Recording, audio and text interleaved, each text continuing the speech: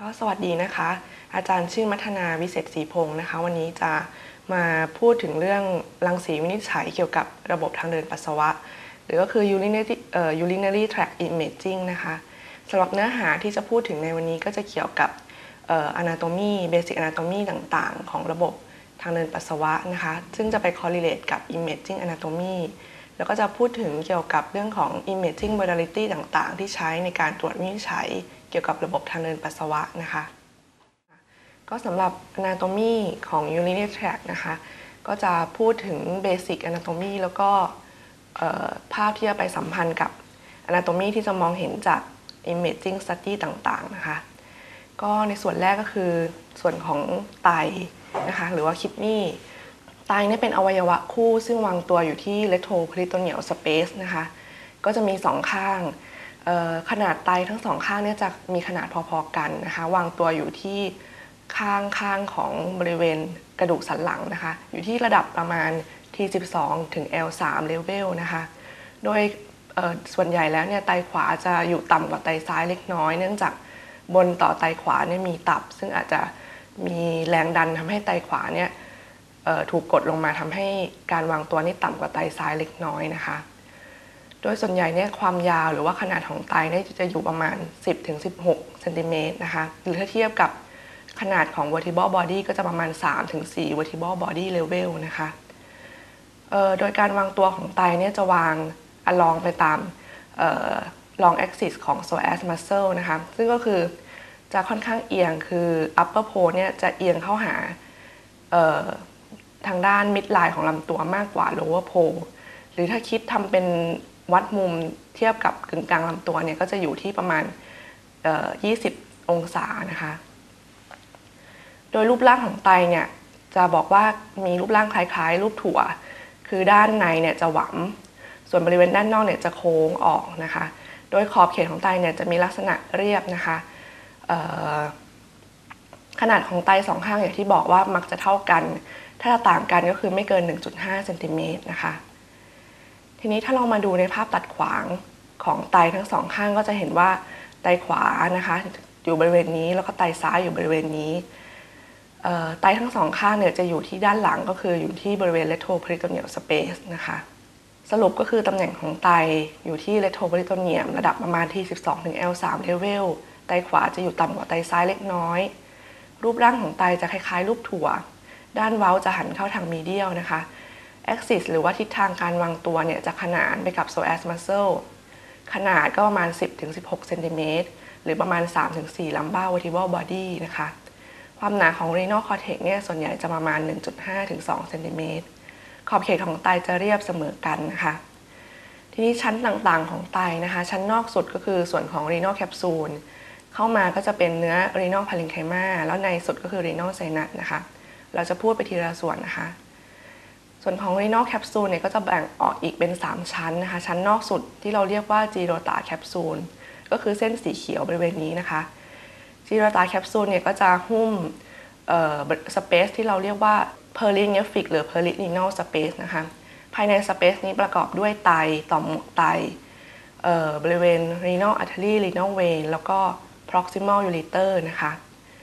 ชั้นในเข้ามาที่เห็นเป็นสีเหลืองก็คือบริเวณของเนื้อเยื่อที่เป็นเนื้อไขมัน ก็คือ adipose capsule นะคะ ส่วนชั้นในสุดที่ชิดติดกับเนื้อไตเลยเนี่ยเรียกว่า fibrous capsule จะเห็นเป็นสีม่วง ซึ่งวางตัวชิดอยู่กับเนื้อไตเลยนะคะ ในภาวะปกติเนี่ยแทบจะไม่ค่อยมี imaging modality ใดที่สามารถที่จะ identify แคปซูลทั้ง 3 ชั้นของ renal ได้นะคะ ที่พอจะมองเห็นก็ไป เราก็จะเห็นลักษณะของ minor calyx นะคะ infundibulum renal pelvis UPJ หรือ ureteropelvic junction นะคะ แล้วก็ proximal ureter ทีนี้ความสัมพันธ์ของไตกับอวัยวะใกล้เคียง อย่างที่บอกไตเป็น retroperitoneal organ หลังต่อไตก็จะเป็นส่วนของ lower lip นะคะ แล้วก็ vertebral body นะคะ บริเวณ medial ต่อไตก็จะเป็นอวัยวะ ได้แก่ pancreas ดูโอดีนัมนะคะ แล้วก็บริเวณด้านบนของไตก็เป็น adrenal gland ส่วนบริเวณด้านล่างต่อไตก็จะเป็นส่วนของโคลอนนะคะ ทั้ง descending แล้วก็ ascending colon นะคะ ทีนี้ในส่วนของ renal vessel renal artery เนี่ยเป็นบรานที่แตกออกมาจาก abdominal aorta ที่ระดับประมาณ L1 level renal artery เนี่ยเมื่อแตกบรานออกมาก็จะให้บรานที่ไป supply adrenal gland ซึ่งก็คือ inferior adrenal artery แล้วก็บรานที่ไป supply renal capsule ก็คือ renal capsular artery หลังจากนั้นส่วนปลายของ renal ก็จะวิ่งเข้ามาที่ renal sinus แตกให้เป็น segmental artery ซึ่งแยกไปเลี้ยงที่ upper pole แล้วก็ lower pole ตามลำดับ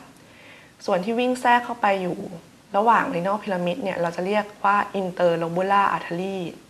พอวิ่งเข้าไปที่ฐานของพีระมิดก็จะอ้อมโค้งตาม base ของพีระมิดเราจะเรียกตรงนี้ว่า arcuate artery หลังจากนั้นจะให้ branch เล็กๆ ไป supply ในส่วนของ renal cortex เราเรียกว่า interlobar artery ตามลำดับนะคะ ทีนี้ imaging modality อะไรบ้างที่จะช่วยในการประเมินเรื่องของไตนะคะ เราก็จะสามารถดูได้ตั้งแต่ฟิล์ม KUB นะคะก็จะสามารถพอบอกลักษณะขอบเขต รูปร่าง แล้วก็ขนาดของไตทั้งสองข้างได้นะคะ การตรวจโดยการฉีดสี หรือที่เรียกว่า IVP ย่อมาจาก intravenous pyelogram หรือ intravenous urogram นะคะ ก็จะสามารถ identify เรื่องของขนาดขอบเขต การวางตัวของไตทั้งสองข้างได้ดียิ่งขึ้น หรือแม้แต่การตรวจด้วยอันตราซาวนะคะการตรวจด้วย CT สแกน MRI หรือย่อมาจาก magnetic resonance imaging อวัยวะต่อไปที่จะพูดถึงก็คือในส่วนของท่อไตหรือว่ายูริเตอร์นะคะในส่วนของ renal pyramid เนี่ยอย่างที่บอกว่าส่วนปลายสุดเนี่ยเราเรียกว่า apex ของ renal pyramid ส่วนของทิปของ renal pyramid เนี่ยก็ เราจะเรียกชื่อเฉพาะว่า papilla นะคะ ซึ่งจะเป็นช่องทางเปิดออกของ convoluting tubule เพื่อเปิดเข้าไปสู่ minor calyx นะคะ ทีนี้ก็มาดูในส่วนในสุดก็คือส่วนของ renal sinus นะคะ renal sinus เนี่ยก็จะประกอบด้วย renal artery vein นะคะ แล้วก็ในส่วนของ pelvocalycial system นะคะ ในส่วนของ pelvocalycial system ก็อย่างที่บอกเมื่อกี้เริ่มจาก minor calyx ซึ่งรับเดรนยูรีนมาจากบริเวณ renal pyramid ส่วนของ minor calyx ปกติเนี่ยจะเป็นลักษณะเป็นรูปร่างเป็นถ้วยนะคะ ซึ่งมีความโค้งขอบถ้วยเนี่ยเราเรียกว่า fornix คอของถ้วยก็คือเราจะเรียกว่า infundibulum นะคะ ก็จะเปิดออกไปสู่ major calyx ไตแต่ละข้างเนี่ยจะมีประมาณ2ถึง4 major calyx หลังจากนั้นก็จะรวมกันเพื่อเปิดเข้าสู่ renal pelvis นะคะ ซึ่ง renal pelvis ก็จะมีรูปร่างเป็นคล้ายๆ เป็นรูปสามเหลี่ยม โดยมุมสามเหลี่ยมนี่ก็จะชี้เข้าหา ส่วนที่เรียกว่า UPJ ซึ่งก็ย่อมาจาก ureteropelvic junction เพื่อเปิดเข้าสู่ proximal ureter ต่อไปนะคะ อันนี้ก็เป็นรูป IVP นะคะก็คือเป็นการตรวจโดยการฉีดสี ซึ่งเดี๋ยวจะพูดถึงในรายละเอียดต่อไป เราก็จะเห็นลักษณะของ minor calyx นะคะ infundibulum renal pelvis UPJ หรือ ureteropelvic junction นะคะ แล้วก็ proximal ureter ทีนี้ความสัมพันธ์ของไตกับอวัยวะใกล้เคียง อย่างที่บอกไตเป็น retroperitoneal organ หลังต่อไตก็จะเป็นส่วนของ lower lip นะคะ แล้วก็ vertebral body นะคะ บริเวณมีเดียลต่อไตก็จะเป็นอวัยวะ ได้แก่แพนครีสดูโอดีนัมนะคะ แล้วก็บริเวณด้านบนของไตก็เป็นอะ ส่วนบริเวณด้านล่างต่อไตก็จะเป็นส่วนของโคลอนนะคะ ทั้ง descending แล้วก็ ascending colon นะคะ ทีนี้ในส่วนของ renal vessel renal artery เนี่ยเป็นบรานที่แตกออกมาจาก abdominal aorta ที่ระดับประมาณ L1 level renal artery เนี่ยเมื่อแตกบรานออกมาก็จะให้บรานที่ไป supply adrenal gland ซึ่งก็คือ inferior adrenal artery แล้วก็บรานที่ไป supply renal capsule ก็คือ renal capsular artery หลังจากนั้นส่วนปลายของ renal ก็จะวิ่งเข้ามาที่ renal sinus แตกให้เป็น segmental artery ซึ่งแยกไปเลี้ยงที่ upper pole แล้วก็ lower pole ตามลำดับ ส่วนที่วิ่งแทรกเข้าไปอยู่ระหว่าง renal pyramid เนี่ยเราจะเรียกว่า interlobular artery พอวิ่งเข้าไปที่ฐานของพีระมิดก็จะอ้อมโค้งตามbase ของพีระมิดเราจะเรียกตรงนี้ว่า arcuate artery หลังจากนั้นจะให้ branch เล็ก ๆ ไป supply ในส่วนของ renal cortex เราเรียกว่า interlobar artery ตามลำดับนะคะ ทีนี้ imaging modality อะไรบ้างที่จะช่วยในการประเมินเรื่องของไตนะคะ เราก็จะสามารถดูได้ตั้งแต่ฟิล์ม KUB นะคะก็จะสามารถพอบอกลักษณะขอบเขต รูปร่าง แล้วก็ขนาดของไตทั้งสองข้างได้นะคะ การตรวจโดยการฉีดสี หรือที่เรียกว่า IVP ย่อมาจาก intravenous pyelogram หรือ intravenous urogram นะคะ ก็จะสามารถ identify เรื่องของขนาดขอบเขต การวางตัวของไตทั้งสองข้างได้ดียิ่งขึ้น หรือแม้แต่การตรวจด้วยอันตราซาวนะคะ การตรวจด้วย CT สแกน MRI หรือย่อมาจาก Magnetic Resonance Imaging อวัยวะต่อไปที่จะพูดถึงก็คือในส่วนของท่อไตหรือว่ายูริเตอร์นะคะ ท่อไตหรือว่ายูริเตอร์เนี่ยก็จะเป็นอวัยวะรูปท่อที่วิ่งเชื่อมระหว่างส่วนของ renal pelvis หรือ UPJ แล้วก็เลื่อยลงมา ไปเปิดเข้าที่ทางด้านหลังของ urinary bladder นะคะ ท่อไตเนี่ยจะมีความยาวประมาณ 1 ฟุต หรือว่า 30เซนติเมตรนะคะ โดยท่อไตเนี่ยจะวางตัวอยู่ที่ paravertebral level นะคะ โดยจะวางตัวอยู่บนต่อ psoas muscle นะคะ พอวิ่งเข้าสู่ pelvic inlet เนี่ย ก็จะมักจะวางตัวอยู่ที่ประมาณ common iliac artery นะคะ แล้วก็จะวิ่งเลี้ยววกเข้าด้านในเพื่อเปิดเข้าสู่ urinary bladder ที่โดยจุดเปิดนี่จะอยู่ที่ lateral margin ของ bladder trigon นะคะในฟิล์ม KUB ธรรมดาเนี่ยส่วนใหญ่จะไม่สามารถ identify ureter ได้ ureter เนี่ยจะต้องออสามารถมองเห็นได้โดยการฉีดสีนะคะก็คือจากการตรวจ IVP แล้วก็จะเห็นคอสของ ureter ซึ่งจะอย่างที่บอกก็คือวิ่งมาตามลองตาม paravertebral level จากนั้น ออพอวิ่งเข้าสู่ pelvic inlet เนี่ยก็จะอยู่ medial ต่อ SI joint หรือว่า sacroiliac joint นะคะ จากนั้นก็วิ่งโค้งเข้าด้านในมาเปิดที่ superoposterior aspect ของ urinary bladder นะคะ ทีนี้สิ่งที่ต้องรู้ก็คือในภาวะปกติเนี่ย ureter เนี่ยจะมีการบีบตัวตลอดเวลาโดยอาศัยการทำงานของ smooth muscle ที่อยู่ที่ wall ของ ureter เราเรียกว่ามีการ peristalsis ของ ureter เพื่อบีบไล่ urine ให้ไหลจากด้านบนลงสู่ด้านล่างนะคะแต่ว่าจะมี physiologic บางอย่าง ก็คือจะมีการแคบของ ureter บางส่วน ซึ่งเราต้องรู้เพราะว่ามันมักจะเป็นตำแหน่งที่ทำให้เกิดนิ่วหรือว่าเป็นที่อยู่ของนิ่วนะคะโดยตำแหน่งต่างๆ มีอยู่ 3ตำแหน่งก็คือที่ ureteropelvic junction ที่บริเวณ distal ureter ที่ วิ่งตัดผ่านกับ bifurcation ของ iliac vessel แล้วก็ที่ UVJ หรือ ureterovesical junction ยกตัวอย่างอันแรก ถ้าสมมุติว่าคนไข้มาด้วย flank pain colicky pain ร่วมกับมี hematuria ก็คือมีปัสสาวะปนเลือด ทางผู้ตรวจแพทย์ผู้ตรวจเนี้ยสงสัยว่าอาจจะมีนิ่ว ได้ทำการส่งตรวจ KUB plain KUB ถ้าน้องเป็นคนอ่านฟิล์ม หรือว่าได้รับ การ consult เนี่ยก็อาจจะต้องมองหาว่าคนไข้มีนิ่วอยู่ณตำแหน่ง ที่เรารู้ว่ามันเป็น physiologic narrowing หรือเปล่านะคะซึ่งอย่างตัวอย่างอันแรกก็คือเราจะเห็นว่ามี abnormal calcification อยู่ที่ paravertebral level ทางด้านซ้าย ซึ่งตำแหน่งดังกล่าวนี้เราก็รู้ว่าน่าจะตรงกับบริเวณ UPJ ซึ่งเป็น physiologic narrowing ที่มักจะมีนิ่วอยู่นะคะ ตำแหน่งที่ 2 คือ ทางด้านล่าง อยู่ใน pelvic cavity ตำแหน่งนี้มักจะสัมพันธ์กับตำแหน่งของ ureterovesical junction หรือว่า UVJ อีกตำแหน่งหนึ่งก็คือ ตำแหน่งที่บอกว่าอยู่ที่จุดตัดของ iliac artery หรือ iliac vessel เนี่ย ก็คือมักจะอยู่ที่ medial ต่อ sacroiliac joint นะคะ เพราะฉะนั้น 3 ตำแหน่งนี้ต้องเป็นตำแหน่งที่จะต้องมองหาว่ามีนิ่วไปตกอยู่แถวนั้นหรือเปล่านะคะ อวัยวะต่อมาก็คือ urinary bladder กระเพาะปัสสาวะ กระเพาะปัสสาวะเนี่ยเป็นอวัยวะที่วางตัวอยู่ใน pelvic cavity นะคะ ด้านบนถูกคลุมด้วยพริโตเนียมมัสเซลที่อยู่ภายในผนังเนี่ยของ bladder เราก็เรียกว่า detrusor muscle ซึ่งจะมีอยู่ 3 ชั้น ด้านในมิโคซาจะบุด้วย transitional cell นะคะ detrusor muscle จะทำหน้าที่ในการควบคุมการขับปัสสาวะ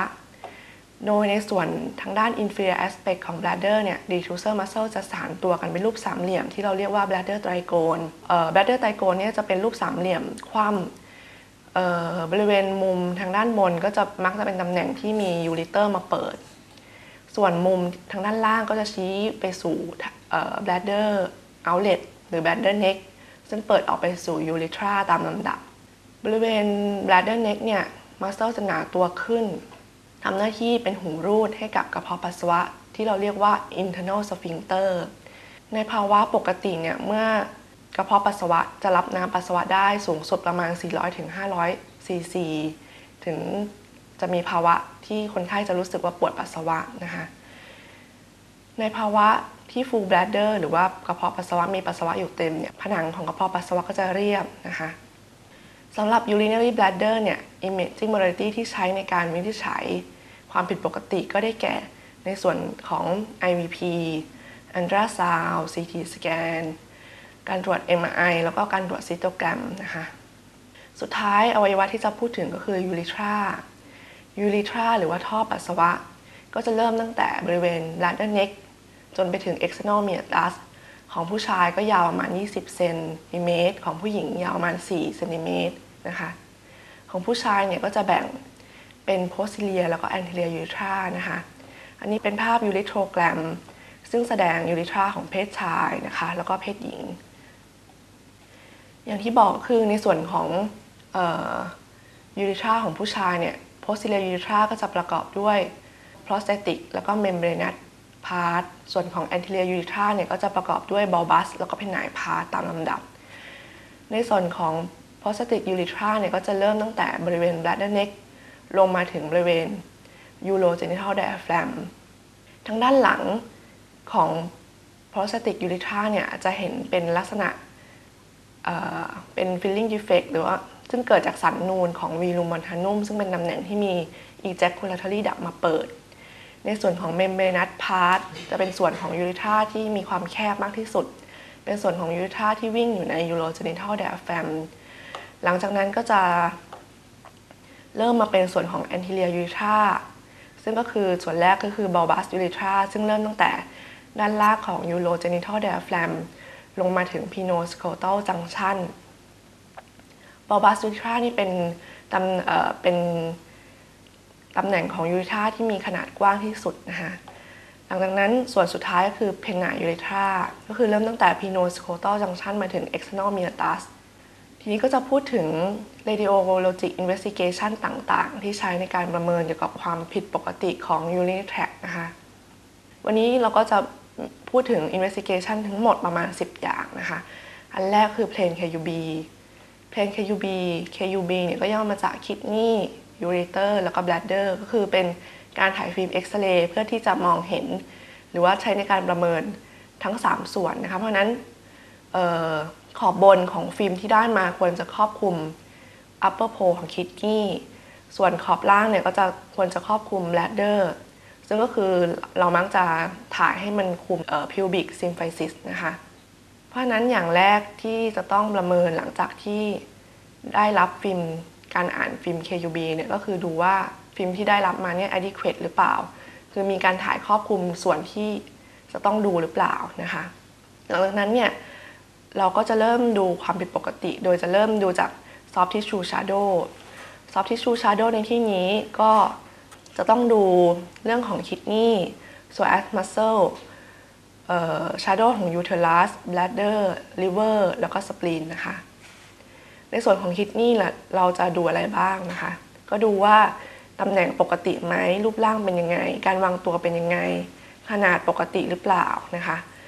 ความหนาของคอเทกถ้าพอจะบอกได้ แล้วก็เอาไลน์ของคิดนี่เนี่ยเรียบดีหรือเปล่านะคะอันนี้ก็เป็นในส่วนของขอบเขตของคิดนี่นะคะแล้วก็จะพอบอกได้นะคะว่าคิดนี่ขวาอยู่ประมาณนี้ คิดนี่ซ้ายอยู่ประมาณนี้ ขนาดแล้วก็การวางตัวก็อยู่ในเกณฑ์ปกตินะคะขนาดประมาณ3วอทิบ้าครึ่ง so as muscle อันนี้คือเงาของ so as muscle ทางด้านขวานะคะ แล้วก็อันนี้เป็นเงาของ psoas muscle ทางด้านซ้าย ก็จะเห็นว่า psoas muscle เนี่ยจะมีรูปร่างคล้ายๆ รูปสามเหลี่ยมแผ่จากด้านบนลงสู่ด้านล่าง ด้านล่างจะมีความกว้างมากกว่าด้านบนนะคะ ทั้งสองข้างควรจะมีขนาดพอๆกัน symmetry นะคะ ถ้าเกิดความผิดปกติเเกิดขึ้นอย่างเช่นในกรณีนี้เราจะเห็นว่ามี abnormal soft tissue shadow อยู่ที่บริเวณ right side abdomen ซึ่ง soft tissue shadow อันเนี้ย ได้บดบังหรือว่า obscure การมองเห็น psoas muscle shadow ทางด้านขวาไปด้วย ซึ่งก็จะเป็นครูทำให้เรานึกถึงว่า mass หรือว่า soft tissue abnormality อันนี้เนี่ย น่าจะมี originate หรือมีต้นกำเนิดมาจาก rectoperitoneum space เพราะว่ามันทำให้เกิดการบดบัง psoas muscle shadow นะคะ เพราะฉะนั้นคนนี้เนี่ย ก็พอจะบอกได้ว่าจากฟิล์มเนี่ยคิดถึงว่าเป็น retroperitoneal mass แต่อีกเคสหนึ่งที่จะเป็นกรณีศึกษาก็คือ คนไข้อาจจะมาด้วยอาการปวดท้องล้าวไปหลัง แล้วก็งอตัวตลอดเวลาจะปวดมากขึ้นเวลาเหยียดขา จากฟิล์มเนี่ยเราก็จะเห็นว่า psoas muscle ทางด้านขวา จะมีเงาที่มีขนาดใหญ่กว่าเมื่อเทียบกับ psoas muscle shadow ทางด้านซ้ายนะคะซึ่งการเห็นความผิดปกติดังกล่าว ร่วมกับอาการเนี่ยทำให้เรานึกถึงว่าน่าจะมี pathology อยู่ที่บริเวณ psoas muscle นะคะ ทีนี้พอเราไปทำ CT สแกนเราก็จะเห็นว่ามี abnormal hypodensity lesion ที่อยู่ภายใน psoas muscle ทางฝั่งเดียวกันจริง ๆ นะคะ คนนี้ก็ได้รับการวินิจฉัยว่าเป็น psoas abscess นะคะ เพราะนั้นการมองหรือว่าการพิจารณาดูเงาของ soft tissue shadow ต่างๆเนี่ยก็มีความสำคัญที่เราต้องไล่ดูไปทีละสเต็ปนะคะต่อมาเป็นอีกเคสหนึ่งก็จะเห็นว่ามี abnormal soft tissue mass อยู่ที่บริเวณ lower abdomen นะคะ ซึ่งมีการเบียดดันทำให้แก๊สหรือว่าบาวแก๊สต่างๆเนี่ยถูกดันขึ้นไปทางด้านบนนะคะ แต่อย่างไรก็ตาม s o as muscle shadow ทั้งสองข้างทางด้านขวาอยู่ตรงนี้ ทางด้านซ้ายอยู่ตรงนี้เรายังพอมองเห็น เพราะนั้นเนี่ยเราก็พอจะบอกได้ว่า mass ดังกล่าวเนี่ยน่าจะเป็น intraperitoneal mass มากกว่าที่จะเป็น retroperitoneal mass นะคะคนนี้ก็สรุปว่าน่าจะเป็น intraperitoneal mass นะคะ หลังจากดู soft tissue shadow แล้วก็ความผิดปกติอันต่อมาที่ต้องมองหาคือมี abnormal calcification หรือเปล่านะคะ ทีนี้การเห็นหรือว่าการ detect ว่ามี abnormal calcification หรือว่าหินปูนภายในช่องท้องเกิดขึ้นเนี่ย differential diagnosis เนี่ยมีมากมายหลายอย่าง ไม่ว่าจะเป็นกลุ่มของ urinary tract stone เองเออการเกิดจาก calcified granuloma หินปูนที่เกิดจากตัวมะเร็งนะคะ หรือว่าพวก gallstone appendiculit costochondral calcification ก็คือการที่มีหินปูนไปเกาะอยู่ตาม ข้อต่อของกระดูกซี่โครง atherosclerosis เฟบ b ลิ t ซึ่งก็คือ calcify ที่ wall ของเวนนะคะ หรือว่า prosthetic calculi calcify urine fibroid ตามลำดับนะคะ จะเห็นได้ว่ากลุ่มของหินปูนที่ผิดปกติเนี่ยเกิดขึ้นจากสาเหตุมากมาย สิ่งใดที่จะทำให้ เราช่วยวินิจฉัยว่าคนไข้เนี่ยเป็น unitax stone หรือเปล่า ก็คือการที่จะต้องดูว่ารูปร่างแล้วก็ตำแหน่งเนี่ยอยู่ในคอสของ unitax ได้หรือเปล่านะคะ ยกตัวอย่างเช่นในรายนี้เเวลาเราบรรยายทางฟิล์มเนี่ยก็จะบอกว่าตำแหน่ง calcification อยู่ตรงไหน abnormal calcification มีกี่เม็ดนะคะ รูปร่างเป็นยังไงนะคะ ยกตัวอย่างอย่างเช่นรายนี้เราก็จะบรรยายว่ามี abnormal calcification นะคะรูปร่างเป็น oval shape วางตัวอยู่ที่ paravertebral level ทางด้านซ้ายอยู่ระดับประมาณ L1 ถึง L2 level นะคะ ซึ่ง overriding หรือวางตัวซ้อนทับกับบริเวณ lateral margin ของ left psoas muscle นะคะ ซึ่งตำแหน่งดังกล่าวเนี่ยก็อาจจะเข้าได้กับ UPJ stone นะคะ เพราะนั้นในรายนี้ทำให้เราสงสัยว่าน่าจะเป็น left ureteropelvic junction stone นะคะ เราก็ไป confirm คนนี้โดยการทำการตรวจโดยการฉีดสีหรือการทำ IVP แล้วก็จะเห็นว่า contrast เนี่ยสามารถ excrete มาจนถึงบริเวณที่มี abnormal calcification อยู่ เพราะฉะนั้นคนนี้ก็ confirm หรือว่าช่วยวินิจฉัยได้ว่าเป็น UPJ stone จริง ๆ นะคะ อีกรายหนึ่งก็คือเอเห็นกรุ๊ปหรือว่า cluster ของ small calcification นะคะ อยู่ที่บริเวณ lower pole ของ left kidney นะคะ ซึ่งในรายนี้เนี่ยเราก็คิดว่าน่าจะเป็นกลุ่มของ calicial stone นะคะ พอไปทำการตรวจโดยการฉีดสีเราก็จะเห็นว่าตรงบริเวณดังกล่าวเนี่ยเกิดมี filling defect ก็คืออการเห็นความชัดของคอนทราสที่เอขีดมาเนี่ยน้อยกว่าบริเวณปกตินะคะเราก็จะเรียกว่าทำให้เกิด filling defect เกิดขึ้น เพราะฉะนั้นคนนี้ก็สรุปว่าเป็น calicial stone จริง ๆ นะคะ ส่วนในลายนี้เพน KUB ออกมาและเห็นเป็น abnormal calcification ซึ่งมีรูปร่างลองตาม p e l v o c a l i c i a l system เลยนะคะ เห็นเป็นส่วนของ major calyx ลงมาเป็น renal pelvis แบบนี้เนี่ย เราก็จะเรียกว่า staghorn stone นะคะ ทีนี้การพบ abnormal calcification อยู่ที่อยู่ใน pelvic cavity นะคะ ไม่ว่าจะเป็นแบบนี้ มีรูปร่างกลมๆนะคะ หรือว่าลีลีขอบเรียบ วางตัวอยู่ตรงกลางของ pelvic cavity เม็ดเดียวหรือว่าหลายเม็ด แบบนี้เนี่ยเราก็จะมักจะวินิจฉัยได้เลยว่าน่าจะเป็นสโตนที่อยู่ใน urinary bladder หรือว่า vesical stone นะคะ แต่ถ้าเห็นแบบนี้เป็น calcification เล็กๆเล็กๆ อยู่ที่ superimpose อยู่ pelvic อยู่ที่บริเวณ pubic symphysis นะคะในเพศชาย อายุค่อนข้างเยอะ เราก็จะวินิจฉัยว่าน่าจะเป็น calcification ที่อยู่ที่ prostate gland นะคะ ส่วนถ้าเห็น calcification หรือว่าหินปูนที่มีรูปร่างยาวๆในเพศชายเหมือนกันอายุค่อนข้างเยอะเหมือนกัน เราก็จะวินิจฉัยว่าน่าจะเป็นหินปูนที่อยู่ที่บริเวณ seminal vesicle นะคะ แต่ถ้ามี calcification เม็ดเล็ก ๆ ที่อยู่บริเวณด้านข้างของ pelvic cavity และข้างใน calcification เนี่ยมีจุดดำหรือว่าเราเรียกว่า central lucency เนี่ย เราก็จะบอกได้ว่าตรงนี้เนี่ยน่าจะเป็น fibrolytic หรือว่า calcify ของ pelvic vein นะคะ ส่วนถ้า calcification รูปร่างอันลองตาม abdominal aorta แบบนี้เลย เราก็รู้เลยว่าเป็น atherosclerosis นะคะ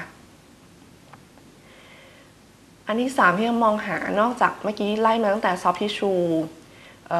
abnormal calcification อันที่ 3 ก็คือ free air หรือว่า free fluid นะคะ อย่างในกรณีนี้เนี่ย แอร์ที่เห็นเนี่ย collect อยู่ตาม right renal shadow นะคะ อยู่รอบๆ แล้วก็อยู่ภายในด้วย พอไป confirm โดยการทำ CT scan เนี่ยก็จะเห็นว่ามี abnormal air collection อยู่ที่บริเวณ right perirenal space แล้วก็บริเวณ subcapsular area นะคะ คนนี้ก็วินิจฉัยว่าเป็น emphysematous pyelonephritis ในส่วนของ bony structure นะคะ ก็จะดูตั้งแต่บริเวณสปาย lower lip ที่พอจะมองเห็นนะคะ บริเวณ sacrum pelvic bone นะคะ hip แล้วก็ SI joint สิ่งที่เราต้องดูก็คือมี fracture ไหม มี congenital bony defect ใดหรือเปล่า เช่นพวก spina bifida นะคะ หรือว่ามี bony destruction ซึ่งอาจจะบ่งบอกถึงว่ามี primary หรือว่ามี metastasis ของโบนหรือเปล่านะคะ อันนี้ก็เป็นตัวอย่างเคสที่คนไข้มาด้วยปัสสาวะเป็นเลือดฟิล์ม KUB ไปเรามองเห็นว่ามี disruption ของ pubic symphysis คนนี้ก็วินิจฉัยว่าน่าจะมีเรื่องของ pelvic ring fracture นะคะ สรุปการอ่าน plain KUB ก็ได้แก่ ไล่ตาม soft tissue shadow ดูเงาของคิดนี่ทั้งสองข้าง เงาของ psoas เงาของ urinary bladder uterus นะคะ แล้วก็ดูว่า liver spleen มี abnormality หรือเปล่านะคะ แล้วก็ไล่ดู abnormal calcification มีหินปูนผิดปกติอยู่ตรงไหน น่าจะเป็น urinary tract stone ได้หรือเปล่านะคะ ดูว่ามี free air หรือว่า free fluid ไหม ดู bony structure อย่างที่กล่าวไปนะคะ ต่อมา imaging modality ที่ 2 ที่จะพูดถึงก็คือ IVP ซึ่งย่อมาจาก intravenous pyelogram IVP เนี่ย ก็จะเป็นการตรวจโดยการฉีดสีหรือว่าเราเรียกว่า contrast medium ซึ่งภายใน contrast medium เนี่ยจะมีส่วนประกอบหรือสารไอโอดีนประกอบอยู่ ซึ่งมีคุณสมบัติที่ทึบรังสีทำให้เมื่อฉีด contrast ผ่านทาง peripheral vein เข้าไปถูกกรองผ่านที่ไตนะคะโกมลลายผ่านทูบูต่างๆ แล้วก็ถูกเอ็กคลีดเข้ามาใน pelvocalicial system เนื่องจากไอโอดีนเป็นสารที่ทึบรังสีทำให้เราสามารถที่จะบอกฟังก์ชันแล้วก็ anatomy ของไตได้นะคะ IVP เนี่ยเราก็จะแบ่งเป็น 2 แบบคือ standard IVP กับ double dose IVP นะคะ โดยทั่วไปแล้วทำเป็น standard IVP โดยจะฉีด contrast medium เนี่ยประมาณ 50 cc นะคะ แล้วก็ serial film ตามลำดับ ส่วน double dose IVP เนี่ยเราจะใช้ contrast ประมาณ 100 cc แล้วก็จะถ่ายฟิล์มที่ 15 นาทีหลังฉีดนะคะ double dose IVP เนี่ยเราไม่ได้ใช้บ่อยจะใช้ในกรณีที่ผู้ป่วย trauma แล้วสงสัย urinary tract injury เราต้องการจะดูว่ามี contrast medium ectavasate หรือเปล่า หรือว่ามีไตเนี่ยยังฟังก์ชันอยู่หรือเปล่านะคะ ปัจจัยต่างๆที่มีผลต่อการมองเห็นภาพที่ได้จาก IVP ก็คือ 1. kidney function คือการทำงานของไตในผู้ป่วยนั้นๆเนี่ยยังปกติอยู่หรือเปล่า ถ้าการทำงานของไตแย่ คือไม่มี GFR ไม่มีการกรองเกิดขึ้นเนี่ยฉีดสีไปเท่าไหร่ ก็จะไม่เห็นการกรองผ่านเข้ามาใน pelvocalicial system เพราะนั้นทำ IVP ไปก็ไม่เกิดประโยชน์ คือไม่สามารถมองเห็นภาพได้นะคะ ส่วนที่ 2 คือ intrarenal concentration คือความเข้มข้นของยูรีนที่อยู่ภายในไไตนั้นๆนะคะ ถ้าเกิดคนไข้ไม่ได้ไม่ได้งดน้ำมา กินน้ำมาเยอะเลยมี มีปริมาณยูรีน หรือว่ามีความเจือจางสูงงั้นเราฉีดสีเข้าไป สารทึบรังสีก็จะถูกเจือจางทำให้เรามองเห็นภาพไม่ชัดนะคะ ส่วนที่ 3 ก็คือออการขับออกของคอนทราสจากคิดนีซึ่งก็ขึ้นอยู่กับเรทของยูรินโฟลูวอลลุ่มหรือว่าขนาดของ collecting system แล้วก็ urethral dynamic นะคะ ในส่วนของการเตรียมตัวผู้ป่วยก่อนที่จะมาทำ IVP ส่วนใหญ่เราก็คือต้องให้งดน้ำอย่างน้อย 4-6 ชั่วโมงก่อนมาตรวจ ก็อย่างที่บอกว่าถ้า hydration คนไข้ไม่ได้งดน้ำงดอาหารมาเนี่ย opacification หรือความคมชัดของการมองเห็นภาพเนี่ยก็จะน้อย เพราะนั้นต้องงดน้ำงดอาหารมาเพื่อให้สารไอโอดีนที่ถูกขับออกมาในไตเนี่ยมีความมี concentration พอสมควรที่เราจะมองเห็นได้นะคะ แต่ก็ต้องระวังในผู้ป่วยบางราย อย่างเช่น มีคิดนี่ฟังก์ชันที่แย่อยู่แล้ว มี underlying เป็นเบาหวาน multiple myeloma คนไข้เด็กมาก ๆ พวกนี้ก็อาจจะ precipitate ทำให้เกิด renal failure ได้ง่ายขึ้นนะคะ อีกอย่างหนึ่งก็คือการเตรียมบาว การเตรียมบาวในที่นี้ก็คือ การให้ทานยาระบายก่อนที่จะมาทำ IVP ซึ่งก็แล้วแต่แล้วแต่ที่แล้วแต่โรงพยาบาล ข้อดีของการเตรียม bowel ก็คือถ้า bowel gas หรือว่า fecal material คนไข้น้อยเนี่ยก็จะทำให้การบดบังต่อภาพที่เราได้เนี่ยน้อยลงนะคะ แต่แล้วก็ตามในโรงพยาบาลของเราเนี่ยก็ไม่ได้ให้เตรียมบาวเป็นรูทีนก็คือพิจารณาเป็นหลายไปนะคะ ข้อห้ามหรือ contra indication ของการตรวจ IVP ก็คือ 1. แพ้สารทึบรังสีที่กล่าวไปนะคะ เพราะนั้นเราก็ทำไม่ได้นะคะ ข้อ 2 ก็คือมี renal insufficiency คือการทำงานของไตน้อย โดยวัดที่ creatinine clearance เนี่ยน้อยกว่า 30 นะคะ สูตรของการคิด creatinine clearance ก็คือเอา 140 ลบอายุนะคะคูณกับ body weight ที่เป็นกิโลกรัมนะคะหารด้วย 72 คูณซีรัม creatinine ถ้าเป็นผู้หญิงเนี่ยก็คูณ 0.85 เข้าไป ถ้าน้อยกว่า 30 เราก็จะไม่ทำนะคะ ข้อห้ามอีกอย่างนึงก็คือคนไข้ pregnancy นะคะ จากนั้นเมื่อเราฉีดสารทึบรังสีเข้าไปปุ๊บ เราก็จะถ่ายภาพซีเรียลที่ 3 นาที 5 นาที 10 นาที 30 นาที หรือว่า full bladder แล้วก็ที่ post void ตามลำดับนะคะ รูปแรกที่ได้คือสเกลฟิล์มคือก่อนฉีดสี ก็จะได้รูปที่เหมือนเพน KUB แล้วก็สามารถประเมินไตเงาของ psoas muscle ต่างๆ ได้พอสมควรนะคะ หลังจากนั้นเนี่ยเราก็จะฉีด contrast medium 50 cc contrast medium ก็จะถูกกรองผ่านที่โกลมรูไลน์ทำให้เห็น ความขาวขึ้นของไตทั้งสองข้าง แล้วก็จะเรียกภาพที่ได้ว่าเนฟโรแกรม คือความขาวของไตเนี่ยจะมากขึ้นเมื่อเทียบกับฟิล์มก่อนหน้านะคะเนฟโรแกรมสองข้างเนี่ยเราจะดูอะไรบ้างก็คือดูตำแหน่งไตได้ดีขึ้น รูปร่าง การวางตัวขนาด ความหนาของคอเทกแล้วก็เอาไลน์นะคะ ก็ดูว่าปกติไหม หลังจากนั้นที่ 5 นาทีเนี่ย สีก็จะถูกขับเข้ามาใน p e l v o c a l i c i a l system แล้วก็จะสามารถดูเรื่องของรูปร่างของ minor calyx เป็นรูปปกติต้องเป็นรูปถ้วยยังเป็นรูปถ้วยอยู่หรือเปล่า ถ้าเกิดมีการโป่งพองของ minor calyx ซึ่งเราเรียกว่า clubbing calyx ก็จะบ่งบอกถึงว่าน่าจะมีเรื่องของ hydronephrosis เกิดขึ้นนะคะสีที่ถูก excrete เข้ามาใน renal pelvis เนี่ยควรจะมีความ homogeneous คือมีความขาวสม่ำเสมอทั่ว ๆ ไป นะคะแต่ถ้ามันมีจุดใดจุดหนึ่ง หรือตำแหน่งใดตำแหน่งหนึ่งที่ความขาวนั้นหายไป เรียกว่าเกิด filling defect เกิดขึ้น ก็จะต้องสงสัยว่ามี non opaque stone มีบัตรคอตหรือว่ามี tumor อยู่ด้วยหรือเปล่านะคะหรือว่าดูพวก congenital anomaly อื่นๆนะคะแล้วก็ nephrogram ที่ฟิล์ม 5 นาทีเนี่ยควรจะมีความ dense หรือความขาวที่น้อยกว่าเมื่อเทียบกับฟิล์มก่อนหน้า เพราะเนื่องจากสีเนี่ยถูกกรองผ่านเข้ามาใน เพลโวคาทิเ a ซิสเต็มแล้ว สีที่อยู่ในเนื้อไตก็ควรจะมีความเข้มน้อยลงตามลำดับนะคะ ถ้าเกิดสีที่อยู่ในเนื้อไตหรือว่า nephrogram เนี่ยขาวกว่าเมื่อเทียบกับอีกข้างหนึ่งหรือขาวกว่าเมื่อเทียบกับฟิล์มก่อนหน้า เราก็จะเรียกว่า dense nephrogramนะคะที่ 10 นาที เราก็จะเห็น contrast เนี่ยถูก excrete เข้ามาใน ureter เราจะมองเห็นคอสของ ureter นะคะอันนี้เป็นภาพไดอะแกรมแสดง finding ที่จะพบได้จากการที่มี UPJ obstruction นะคะยกตัวอย่างเช่น สีเหลืองนี้เป็นสมมุติว่าเป็น stone UPJ stone นะคะที่ 3 นาที ข้างที่ปกติเนี่ยมี nephrogramเกิดขึ้นนะคะส่วนข้างที่ผิดปกติหรือมีออ s ซั c ชันเนี่ยยังไม่เห็นเนฟโฟแกรมนะคะเพราะ5นาทีเนี่ยเนฟโฟแกรมของข้างที่ผิดปกติเนี่ยเด่นมากขึ้นชัดมากขึ้นเมื่อเทียบกับอีกข้างหนึ่งแล้วก็เรียกความผิดปกตินี้ว่าเดนเนฟโฟแกรมนะคะ ส่วนข้างที่ปกติเนี่ย5นาทีต้องเห็น accretion แล้ว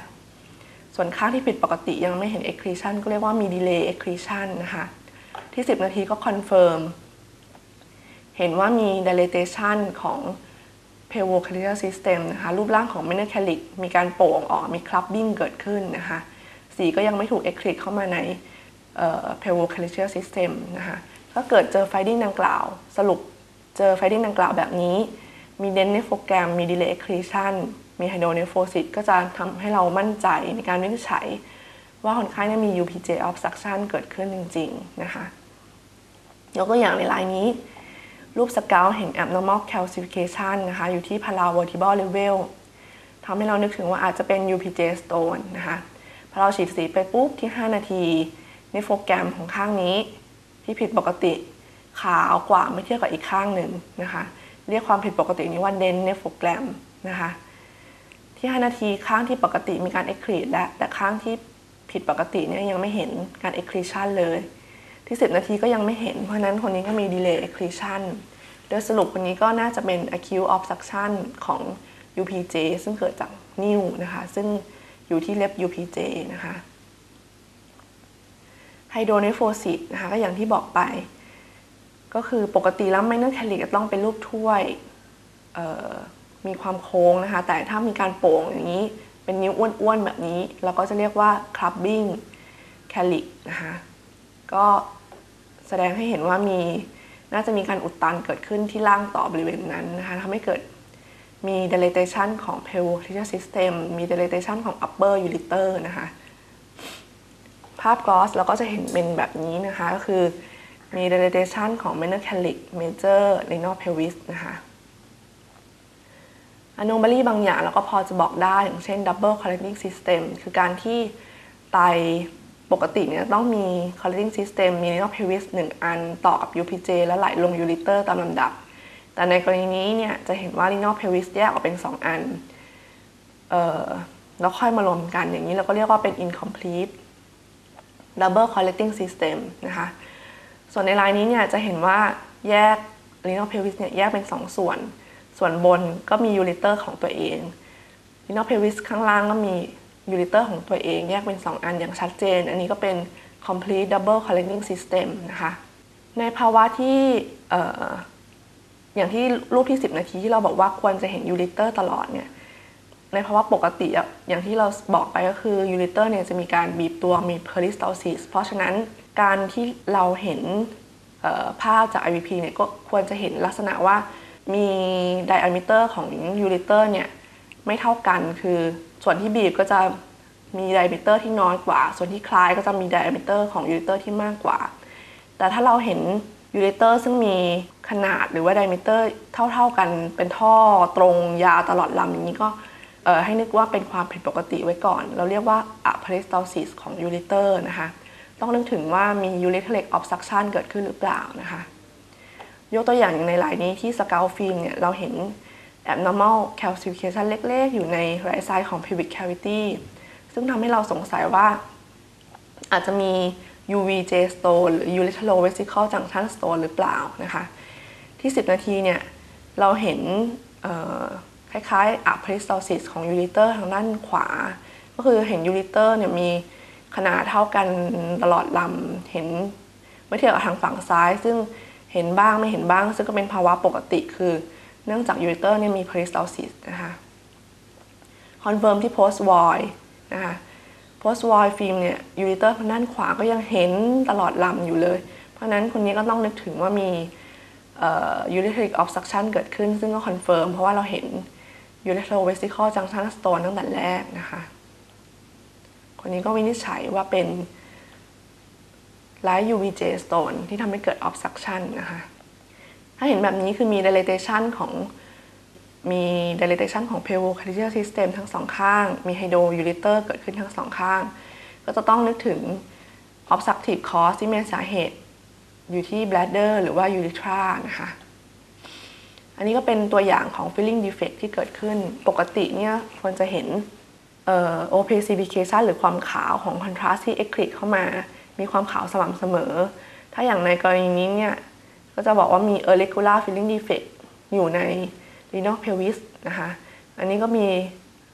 filling defect เกิดขึ้นอยู่ในบริเวณ lower ureter นะคะ ส่วนที่ 30 นาทีก็คือเราจะดูที่ full bladder คือมี eclipse ของ contrast ลงมา urinary bladder ซึ่งปกติเนี่ย bladder ก็ควรจะมีขอบเขตที่เรียบนะคะเป็นรูปทรงกลมหรือว่ารูปไข่ ในบางกรณีอย่างเช่นโดยเฉพาะในผู้หญิงเนี่ยจะเห็นว่าทางด้านบนของ ureter เนี่ยเหมือนกับมีอะไรมากดนะคะแล้วก็เรียกว่ามี smooth indentation ที่ superior aspect ของ urinary bladder ซึ่งมักจะพบได้ในผู้หญิง ซึ่งเกิดจากการกดทับของ uterus นะคะ แต่ถ้าผิดปกติก็คือเป็นแบบนี้ คือลักษณะขอบของ urinary bladder เนี่ยไม่เรียบ มีลักษณะเหมือนถุงเล็กๆ ยื่นออกไป อย่างนี้เราเรียกว่ามี bladder diverticulum นะคะจำนวนมากนะคะหรือว่าเห็นแบบนี้คือขอบของ urinary bladder เนี่ยไม่เรียบนะคะเห็นความหนาของ wall ของ bladder เนี่ยมีความหนามาก เราก็เรียกว่า bladder tuberculation นะคะ ส่วนของ filling defect ใน bladder ก็ควรที่จะต้องมองหา อย่างเช่นในกรณีนี้เนี่ยเห็น irregular filling defect อยู่ใน urinary bladder นะคะหรือว่าในกรณีแบบนี้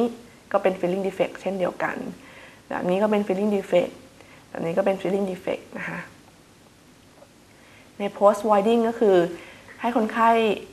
หลังจากที่ถ่ายรูป full bladder เสร็จเนี่ยให้คนไข้ไปปัสสาวะ แล้วกลับมาถ่ายรูปซ้ำอีกครั้งหนึ่ง เพื่อที่จะดูความสามารถในการขับปัสสาวะ หรือ emptying function ของ urinary bladder ของผู้ป่วยนะคะ สิ่งที่เราจะต้องดูก็คือดูว่า residual urine หรือว่าปัสสาวะที่ยังเหลืออยู่เนี่ยปริมาณมากน้อยแค่ไหนนะคะ ซึ่งปกติควรจะเหลือได้เล็กน้อยเท่านั้นนะคะ ข้อดีของการดู post voiding film อีกอย่างก็คือใช้ในการดู tumor หรือว่าสโตเล็กๆ ซึ่งอาจจะถูกบดบัง ในฟิล์มก่อนหน้า แต่ว่ามามองชัดในฟิล์ม post voiding ก็ได้นะคะ indication ของการตรวจ IVP ก็คือ สงสัย renal หรือว่า ureteric calculi นะคะคนไข้มี colicky abdominal pain นะคะมี persistent หรือว่ามี flank hematuria นะคะสงสัย complicated UTI นะคะสงสัย urothelial tumor นะคะหรือว่าตรวจแล้วมีความผิดปกติจากอันตราซาวหรือว่า renogram นะคะ ข้อดีของการตรวจ IVP ก็คือ สามารถที่จะประเมินเรื่องของ renal function ได้อย่างที่บอกไป แล้วก็สามารถที่จะดูรายละเอียดของ urothelium ได้ว่ามี tumor เกิดขึ้นหรือเปล่านะคะสามารถที่จะดูคอสของ ureter ได้นะคะข้อเสียคือไม่สามารถที่จะบอกออรายละเอียดของ renal parenchymal abnormality ได้นะคะแล้วก็มีความจำเป็นที่จะต้องฉีด contrast ทาง peripheral vein เพราะนั้น ก็จะเป็นข้อห้าม ในผู้ป่วยที่มี renal failure นะคะ modality อันต่อมาที่จะพูดถึงก็คือ retrograde pyelogram หรือย่อว่า RP นะคะ การตรวจ RP เนี่ยจะต้องทำโดยคุณหมอ urologist นะคะที่เฉพาะทางด้านระบบทางเดินปัสสาวะ เพราะเขาจะต้องมีการส่องกล้องหรือว่า cystoscope ผ่านเข้าไปทาง urinary bladder มองหา ureteric orifice แล้วก็ ใส่หรือว่า cannulate catheter เนี่ยให้ผ่าน ureteric orifice เข้าไปนะคะ แล้วก็ฉีดสี อย่างภาพนี้เป็นต้นภาพที่ได้เนี่ยก็คือจะเห็นว่ามี catheter อยู่ปลายของ catheter เนี่ยจิกอยู่ในส่วนของ ureteric orifice นะคะ มีการฉีดสีผ่านทางด้านล่างขึ้นไปสู่ด้านบนนะคะ สามารถที่จะมองเห็น ureter แล้วก็ pelvocalyceal system ได้โดยตลอดนะคะ ข้อบ่งชี้ของการตรวจ retrograde pyelogram ก็คือ คนไข้เนี่ยมี poor kidney function อย่างที่บอก poor kidney function ก็ทำ IVP ไม่ได้ ก็ต้องชิปมาทำ RP หรือ retrograde pyelogram แทนนะคะ แล้วก็ต้องการที่จะประเมิน pelvocalcial system ในกรณีที่อาจจะไม่แน่ใจผลหรือว่าภาพที่ได้จาก IVP นะคะแล้วก็หรือว่าอันที่ 3 ก็คือ มีประวัติ hematuria ที่ไม่สามารถอธิบาย cause ได้นะคะ ข้อห้ามหรือ contraindication ก็คือ คนไข้มี infection อยู่ การฉีดสีย้อนกลับขึ้นจากล่างขึ้นไปข้างบนเนี่ยก็จะทำให้ infection นั้นแย่ลงหรือว่าโปรเกตมากขึ้นนะคะ complication ก็คือ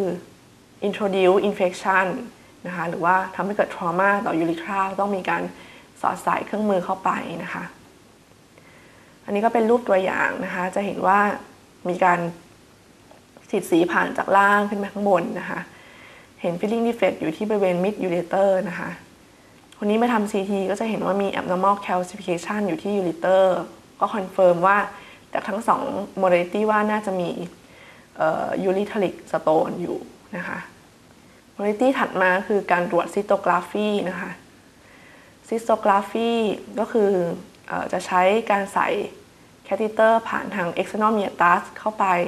ให้ปลายอยู่ใน urinary bladder แล้วก็ฉีดสี เพราะนั้นเนี่ยสิ่งที่เราจะมองเห็นก็คือ urinary bladder นะคะเราจะบอกได้ว่ารูปร่างของ bladder เป็นยังไงผนังมีความเรียบหรือเปล่านะคะ มี filling defect เกิดขึ้นภายในหรือเปล่านะคะ เพราะนั้นข้อบ่งชี้ก็คือสามารถที่จะประเมินขนาดรูปร่างของ bladder ได้นะคะ ดูถ้าในกรณีที่สงสัย carcinoma ของ bladder นะคะ ในกรณีที่สงสัยมี trauma หรือว่ามี rupture ของ bladder นะคะ ในกรณีที่สงสัยว่ามี vesical ureteral reflux นะคะ หรือว่าสงสัยเกี่ยวกับ vesical fistula นะคะอย่างเช่นในกรณีนี้เนี่ยจะเห็นว่ารูปร่างของ urinary bladder เนี่ยผิดปกติ จากปกติต้องขอบเรียบ แล้วก็เป็นทรงกลมหรือทรงไข่ แต่นี้เนี่ยจะเห็นรูปร่างเป็นคล้ายๆต้นไม้นะคะ เรียกว่า Christmas tree apparent คนนี้ก็เป็น neurogenic bladder นะคะหรือในกรณีนี้เนี่ยคนไข้มีประวัติ blunt abdominal injury มา แล้วก็มีประวัติเรื่องของปัสสาวะปนเลือดทำให้เขาสงสัยว่ามี injury ที่ urinary bladder หรือเปล่า ก็ส่งมาทำ cystogram หลังจากใส่ catheter และฉีดสีก็จะเห็นว่า contour ของ urinary bladder นี่ผิดปกติ โดยเฉพาะทางด้านบนเนี่ยหาขอบเขตไม่ชัดนะคะแล้วก็มี extravasation หรือว่ามีการ leakage ของ contrast ขึ้นไป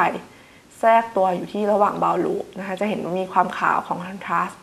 อยู่ระหว่าง bowel loop แบบนี้แล้วก็จะวินิจฉัยว่าเป็น intraperitoneal bladder rupture นะคะ modality ถัดมาคือ voiding cystourethrography หรือย่อมาจาก VCUG นะคะ ก็จะเป็นการตรวจคล้ายๆกับ cystogram คือมีการใส่ไซส์ catheter ผ่าน ขึ้นไปให้ปลายอยู่ใน bladder แล้วก็ฉีดสี จะใช้contrast ประมาณ 400 ถึง 500 ซีซี หรือว่าจนกว่าคนไข้จะรู้สึกปวดปัสสาวะ แล้วก็ถ่ายฟิล์ม หลังจากนั้นเนี่ยก็จะให้ผู้ป่วยปัสสาวะไปพร้อมกับเบ่งปัสสาวะไปพร้อมกับการถ่ายรูปฟิล์ม โดยการใช้ fluoroscope นะคะ อย่างนี้เป็นต้นก็คือใส่ catheter ฉีดสีเข้าไปให้ full bladder ถ่ายฟิล์มเก็บไว้ หลังจากนั้นเนี่ยก็จัดท่าให้ผู้ป่วย ถ้าเป็นผู้หญิงก็ AP ได้แต่ถ้าเป็นผู้ชายต้องตะแคง จับตะแคงประมาณ 45 องศา แล้วก็ให้ผู้ป่วยเบ่งปัสสาวะ แล้วก็จะสามารถได้รูปที่เห็น urethra ตลอดความยาวนะคะ แล้วก็จะประเมินความผิดปกติของ bladder แล้วก็ urethra ได้ในคราวเดียวกันนะคะ ข้อบ่งชี้หรือ indication ของการทำ VCUG ก็คือออ มี UTI เกิดขึ้นในเด็กๆ เราสงสัยว่ามีความผิดปกติที่ยูริทราโดยเฉพาะ posterior urethral valve นะคะสงสัยเกี่ยวกับ vesical ureteral reflux หรือ VUR นะคะแล้วก็เพื่อหาสาเหตุของ urinary incontinence นะคะยกตัวอย่างในลายนี้เนี่ยนี่เป็นภาพที่ได้จากในขณะที่ป่วยเบ่งปัสสาวะ แล้วก็จะเห็นว่ามี abnormal dilatation ที่ posterior urethra นะคะ ซึ่งตรงนี้เนี่ย บในเด็กชายมีประวัติ UTI นะคะคนนี้ก็วินิจฉัยว่าเป็น posterior urethral valve นะคะ ต่อมาบริตี้ถัดมาคือ ureterography การตรวจ ureterography เนี่ยก็จะแบ่งเป็น descending หรือ anterograde กับ ascending หรือ retrograde ureterogram นะคะ descending ureterography ก็คือจะมีหลักการทำเหมือนกับการทำ VCUG ก็คือ ใส่คอนทราสต์ไปจนกว่าคนไข้ full bladder แล้วก็ให้คนไข้เบ่งปัสสาวะพร้อมกับการถ่ายรูปด้วย fluoroscope นะคะ ส่วน ascending หรือ retrograde urethrogram ก็คือ การใส่สายส่วนปัสสาวะเข้าไปทาง external meatus โดยใส่ให้ปลายเนี่ยพ้น external meatus เข้าไปนิดเดียวนะคะ แล้วก็มีการโบลลูนประมาณ 1-2ซีซีนะคะ แล้วจึงฉีดสีนะคะฉีดใช้ contrast ประมาณ 50 ซีซีนะคะฉีดผ่านจาก external meatus ขึ้นไป จนกว่าจะเห็น contrast เนี่ยเข้าไปใน urinary bladder นะคะก็หยุดได้นะคะเราก็จะสามารถประเมิน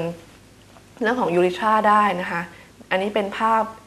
urethrography ในผู้ชายนะคะก็จะเห็น posterior urethra ส่วนของ prostatic urethra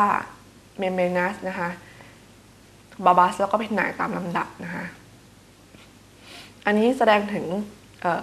retrograde urethrogram เช่นเดียวกันมีการฉีดสีผ่านทาง external meatus ขึ้นไปนะคะ จะเห็นว่าในส่วนของ bulbous urethra เนี่ยมี abnormal คือเห็นว่ามี irregular นะคะ คือขอบเขตยูริทราตรงบริเวณนี้เนี่ยขุขะแล้วก็มีขนาดเล็กนะคะ คนนี้ก็วินิจฉัยว่าเป็น urethral stricture นะคะที่ bulbous portion นะคะ ข้อบ่งชี้ของการตรวจ urethropography ก็คือสงสัย trauma ต่อ urethra นะคะหรือว่าสงสัยพวก stricture หรือ anomaly ของ urethra นะคะต่อมาคือการตรวจ ultrasound หรือ ultrasonography นะคะเครื่องมือที่ใช้ตรวจก็จะประกอบด้วยเครื่องตรวจอันตราซาวหัวโพรบนะคะโดยการวางโพรบอันตราซาวเนี่ยก็มักจะใช้เป็น intercostal approach หรือว่า subcostal approach แล้วแต่ในบางกรณีนะคะ ผู้ป่วยอาจจะอยู่ในท่านอนหงาย นอนตะแคงหรือว่าคว่ำนะคะ ส่วนใหญ่ก็จะให้นอนหงายหรือไม่ก็นอนตะแคงนะคะภาพที่ได้ทางด้านขวา เราก็จะได้ลองจิตทูดินอลวิวของลายคิดนี่นะคะ แบบนี้นะคะ หมายเลขหนึ่งก็คือ liver นะคะ หมายเลขสองคือคิดนี่หมายเลข3คือ right diaphragm นะคะหมายเลข 4 คือช่องว่างที่อยู่ระหว่าง liver กับ kidney ก็คือ hepatorenal pouch นะคะ โดยในภาวะปกติเนี่ยเนื้อคิดนี่หรือ renal parenchyma เนี่ยจะมี echo หรือสีที่ดำกว่า เมื่อเทียบกับเนื้อ liver ที่อยู่ข้างเคียงนะคะเป็นภาวะปกติคือมี slightly hypoechoic เมื่อเทียบกับ liver parenchyma นะคะในส่วนของตรงกลางของ kidney เนี่ยก็มักจะเห็นเป็นสีขาว ซึ่งเราภาษาอันดาซาวคือ hyperechoic นะคะการที่เห็นเป็นสีขาวก็เนื่องมาจาก ตรงกลางเนี่ยเป็นส่วนของ renal fat renal sinus fat นะคะแล้วก็ดูที่ hepatorenal pouch ว่าปกติก็จะไม่มีน้ำหรือว่า fluid ที่แทรกอยู่นะคะ อันนี้เป็นภาพที่แสดงให้เห็น renal medulla คือเห็นเป็น triangular shape hypoechoic ที่เรียงกันตามแนวยาวนะคะ ซึ่งก็คือแสดงถึง renal pyramid นะคะซึ่งก็เป็นปกตินะคะเป็น renal medulla ปกติ อันนี้แสดงภาพ normal kidney เทียบกับ ความผิดปกตินะคะจะเห็นว่าเนื้อ renal parenchyma อันนี้มีความขาวกว่าเมื่อเทียบกับเนื้อ liver ที่อยู่ข้างเคียงนะคะแบบนี้เราก็จะวินิจฉัยว่ามี increase renal echogenicity นะคะวินิจฉัยว่าเป็น renal parenchymal disease นะคะอันนี้เป็นความผิดปกติที่จะบอกว่าเป็น hydronephrosis นะคะ คือเนื้อ kidney parenchyma เนี่ยมี hypoechoic นะคะ ตรงกลางที่ควรจะเป็นสีขาวของ renal sinus fat เห็นเป็น hyperechoic เนี่ย ก็เห็นเป็นสีดำเป็นเหมือนกับเป็น tubular shape anechoic lesion นะคะที่อยู่ตรงกลาง ก็บ่งบอกถึงว่าเป็น dilatation ของ collecting system นะคะแล้วมีการเบียดดัน renal sinus fat ที่เห็นเป็นสีขาวเนี่ยให้ห่างออกไปนะคะ ก็คนนี้ก็สรุปว่าเป็น hydronephrosis นะคะ นอกจากนี้อันตราซาวยังใช้ในการบอกเรื่องของ renal mass ไม่ว่าจะเป็น solid mass หรือว่า cystic lesion แบบนี้นะคะ cystic lesion เนี่ยก็จะเห็นเป็น anechoic คือเห็นเป็นสีดำสนิทนะคะ ขอบเขตชัดเจน แล้วก็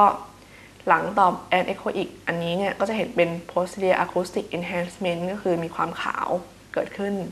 นะคะ ในส่วนของ urinary bladder จาก ultrasound เราก็จะเห็นเป็น well defined นะคะ ขอบเรียบ ข้างในก็เห็นเป็นสี anechoic เช่นเดียวกันเห็นเป็นสีดำสนิทนะคะ ถ้าเกิดความผิดปกติ เช่น มีความหนาขึ้นของ bladder wall เนี่ยเราก็จะบอกได้นะคะ นอกจากนี้เรายังสามารถประเมินเรื่องของ uterus นะคะ ซึ่งวางตัวอยู่หลังต่อ bladder หรือว่า prostate gland ได้ด้วยนะคะ ข้อบ่งชี้ของการตรวจอันดาซาวคือ สงสัยลีโนแมสนะคะมีคนไข้มีเครตินินไลซิงนะคะสงสัยเรื่องของ renal parenchymal disease หรือว่ามี obstruction ดู hydronephrosis นะคะสงสัยเกี่ยวกับมี complication ซึ่งเกิดขึ้นจาก UTI เช่นมี renal abscess หรือว่ามี perinephric abscess เกิดขึ้นนะคะใช้ในการผู้ประเมินผู้ป่วยหลังจากทำ transplant ของคิดนีนะคะ ใช้ในการดู urinary bladder lesion ได้ แล้วก็ใช้ในการไกด์ เพื่อทำ renal biopsy ได้นะคะข้อดีของ ultrasound คือไม่มี radiation นะคะใช้ได้ในผู้ป่วยที่มี renal failure นะคะแล้วก็คนไข้ไม่ต้อง NPO แล้วก็สามารถที่จะใช้เพื่อช่วยในการ biopsy ได้นะคะข้อเสียก็คือไม่สามารถที่จะประเมินฟังก์ชันของคิดนีได้นะคะไม่สามารถที่จะมองเห็น ureter ได้นะคะแล้วก็การทำหรือว่า ภาพที่ได้เนี่ยขึ้นกับความชำนาญของผู้ทำด้วยนะคะ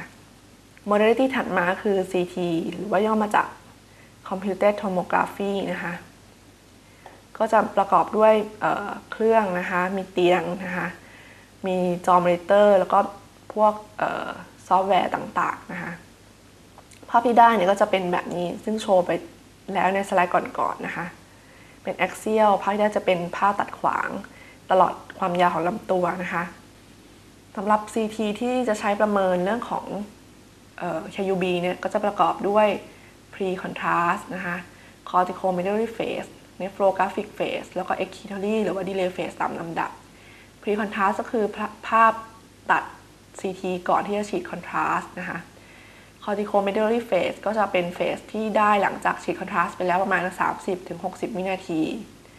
nephrographic ก็จะเป็นภาพที่ได้หลังหลังจากฉีด contrast ไป 60ถึง100 วินาทีนะคะส่วน excitatory หรือ delay ก็คือ ภาพที่ตัดหลังจากฉีด contrast ประมาณ 180ถึง300 วินาทีนะคะ อันนี้ก็เป็นรูปภาพตัวอย่าง CT scan non contrast phase ก่อนฉีดเนี่ยเราก็จะเห็นว่าสีของ abdominal aorta ก็จะเป็นสีเทาๆคือยังไม่มีการฉีดคอนทราสต์เข้ามานะคะ ใช้ในการดูพวก abnormal calcification acute hematoma ดูพวก free air ได้นะคะ corticomedullary phase ก็คืออย่างที่บอกหลังฉีดสีไปนะคะ ตอนแรกเนี่ยสีก็จะเข้าไปอยู่ที่บริเวณ cortex ก่อน เพราะนั้นก็ทำให้เราแยกส่วน cortex แล้วก็ medulla ออกจากกันได้ phase นี้เนี่ยเราจึงเรียกว่า corticomedullary phase นะคะ จะสังเกตว่าความขาวของ aorta เนี่ยขาวขึ้นชัดเจนเมื่อเทียบกับ pre-contrast phase นะคะ corticomedullary phase เนี่ยก็จะใช้ในการประเมินพวก venous เอ่อ renal vein anatomy แล้วก็ pathology ต่างๆ เช่น renal vein thrombosis เป็นต้นนะคะ phase ต่อมาคือ nephrographic phase นะคะก็คือเป็น phase ที่ตัดหลังจากฉีด contrast แล้วประมาณ 60-100 วินาทีนะคะ ก็จะเห็นว่า contrast เนี่ยถูก excrete ผ่านเข้ามาใน medulla ทำให้ความขาวของทั้ง renal cortex และ medulla เนี่ยเท่าๆกันนะคะโดยปกติเนี่ย การ enhance หรือว่าการขาวขึ้นของเนื้อ renal parenchyma เนี่ยทั้งสองข้างก็ควรจะเท่า ๆกันนะคะเฟสนี้เป็นเฟสที่ดีที่สุดในการที่จะประเมินเรื่องของ renal mass หรือว่า renal parenchymal abnormality นะคะ ต่อมาคือ excretory phase คือ contrast เนี่ยถูก excrete เข้ามาใน pelvocalcial system นะคะ เราก็จะสามารถที่จะดู renal pelvis แล้วก็ไล่ดูตามยูริเตอร์ได้นะคะ อย่างที่เราทราบว่ายูริเตอร์เนี่ยจะวางตัวอยู่บนต่อ psoas muscle นะคะ อันนี้เป็น psoas muscle ทางด้านขวา อันนี้เป็น psoas muscle ทางด้านซ้ายนะคะ ureter ก็จะวางตัวอยู่บนต่อ psoas muscle นะคะ เราก็จะเห็นเป็นภาพเป็นกลมๆนะคะของ ureter ซึ่งเป็น cross section ของ ureter นะคะ ซึ่งไล่ต่อเนื่องกันไปเมื่อเราหมุนสไลด์ขึ้นลงนะคะ เราก็จะเห็น อันนี้คือ ureter ขณะที่เข้ามาสู่ pelvic cavity แล้วนะคะ ทางด้านขวาแล้วก็ทางด้านซ้ายนะคะ ไล่ลงมาเรื่อยๆ จนเข้ามาเปิดที่บริเวณ supilo posterior aspect ของ urinary bladder นะคะ ตรงนี้ก็จะเห็นว่ามี contrast ถูก excrete เข้ามาใน bladder แล้วนะคะ ข้อบ่งชี้ของการส่งตรวจ CT scan คือเพื่อที่จะวินิจฉัยแล้วก็ staging renal mass นะคะ ช่วยในการตรวจหาทูเมอร์ของ urinary tract system นะคะใช้ในการที่จะประเมินเรื่องของ trauma ต่อคิดนีนะคะดู complication ที่เกิดขึ้นจาก UTI นะคะสามารถที่จะตรวจ renal artery stenosis นะคะแล้วก็ใช้ในการตรวจหา stone นะคะข้อดีก็คือสามารถที่จะดูทั้งฟังก์ชันและอนาโตมีของคิดนีได้ในคราวเดียวกันนะคะให้รายละเอียดของการตรวจได้ดีนะคะ ข้อเสียคือคนไข้จะต้องได้รับรังสี แล้วก็จะต้องได้รับการฉีด contrast medium นะคะ ต่อไปคือ magnetic resonance imaging หรือย่อมาจาก MRI นะคะ MRI เนี่ยก็จะเป็นการตรวจโดยใช้หลักการของคลื่นแม่เหล็กไฟฟ้านะคะ อันนี้เป็นภาพ coronal view ของคิดนีนะคะ อันนี้เป็นคิดนีข้างขวาแล้วก็ข้างซ้ายนะคะ ก็จะเห็นสามารถที่จะดูขอบเขตดูขนาดการวางตัวของคิดนีได้นะคะ อย่างในกรณีเนี่ยเราจะเห็นว่ามี multiple small renal cyst กระจายอยู่ที่คิดนีทั้งสองข้างนะคะ ในส่วนของ pelvic cavity เนี่ยเราก็จะสามารถมองเห็น urinary bladder ได้นะคะ ข้อดีก็คือไม่ต้องได้รับ radiation นะคะ ความเสี่ยงที่จะแพ้แกดโดลิเนียมซึ่งก็คือสารทึบรังสีที่ใช้ในการตรวจ MRI เนี่ยน้อยกว่าความเสี่ยงที่จะแพ้ iodinated contrast medium ซึ่งใช้ในการตรวจ CT scan นะคะ แล้วก็ใช้ในการประเมินเรื่องของ renal artery stenosis ได้ดีกว่านะคะ ข้อเสียก็คือใช้เวลาในการตรวจนานนะคะ เพราะนั้นคนไข้ถ้าคนไข้ขยับเนี่ยก็จะทำให้เกิด motion artifact ได้นะคะ แล้วในบางกรณีที่ผู้ป่วยมีการผ่าตัดใส่พวก metallic instrument ต่างๆเนี่ยก็จะเกิด artifact ทำให้บดบังภาพต่างๆทำให้เกิด artifact แล้วก็ไม่ชัดได้นะคะ แล้วก็ MRI เนี่ยไม่ sensitive ในการประเมินเรื่องของ stone หรือว่า calcification นะคะ และที่สำคัญก็คือราคาแพงกว่ามากเมื่อเทียบกับ CT นะคะ อันต่อมาคือ renal angiography นะคะ ก็จะเป็นการตรวจเส้นเลือด renal artery โดยการใส่สายสวนผ่านเข้าไปที่บริเวณขาหนีบ ซึ่งก็คือผ่านที่ femoral artery นะคะ สอดผ่านเข้าไปที่ iliac artery abdominal aorta นะคะแล้วก็ส่วนปลาย catheter เนี่ยก็จะถูกสอดผ่านเข้าไปที่บริเวณ renal artery นะคะแล้วก็ฉีดสี ภาพที่ได้เราก็จะเห็น renal artery นะคะแยกเป็นเซกเมนต์แยกเป็น interlobular arcuate แล้วก็ interlobar artery นะคะแบบนี้สิ่งที่เราจะบอกได้ก็คือความผิดปกติอย่างเช่นพวก vascular malformation พวก arteriovenous malformation หรือว่ามี aneurysm หรือว่าในกรณีที่มี injury มี trauma ต่อตัว renal artery เราก็จะบอกได้นะคะ อันสุดท้ายคือ renogram นะคะ renogram ที่เป็นการตรวจทางเวชศาสตร์นิวเคลียร์โดยการฉีดสารทางด้านนิวเคลียร์เนี่ยผ่านทาง peripheral vein เข้าไป ก็จะสามารถตรวจทั้งฟังก์ชันแล้วก็ดู anatomy คร่าวๆของ renal ได้นะคะ โดยสรุปก็คือ วันนี้ที่พูดถึงก็จะมีเรื่องของ anatomy ต่างๆ ของ urinary tract นะคะนั่นเริ่มตั้งแต่ kidney ureter bladder แล้วก็ urethra นะคะ แล้วก็ investigation modality ต่างๆ ที่ใช้ในการตรวจทาง KUB นะคะ ข้อบ่งชี้นะคะ ข้อห้าม complication แล้วก็การแปลผลคร่าวๆนะคะ